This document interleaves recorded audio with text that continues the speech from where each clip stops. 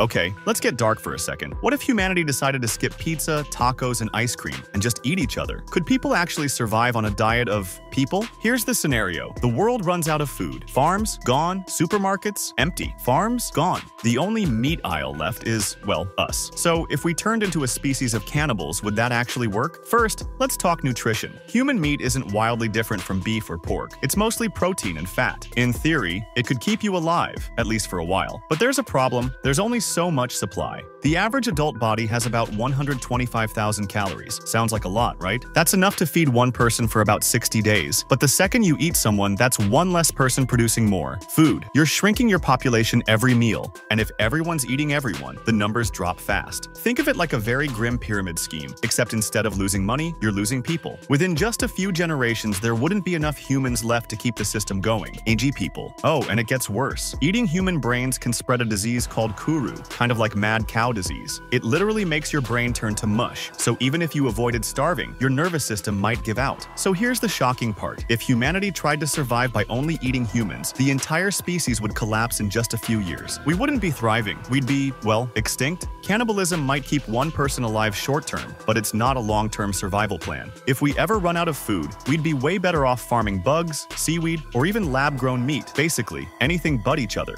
So what do you think? If humanity was desperate enough, would people actually try this? Let me know in the comments. And if you enjoyed this little dive into the dark side of what if, hit that like button and subscribe for more weird science questions.